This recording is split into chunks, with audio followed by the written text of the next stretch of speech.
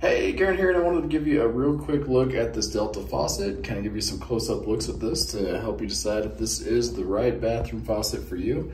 Uh, works very simply, as you would expect a faucet to work. Nice even flow of water here.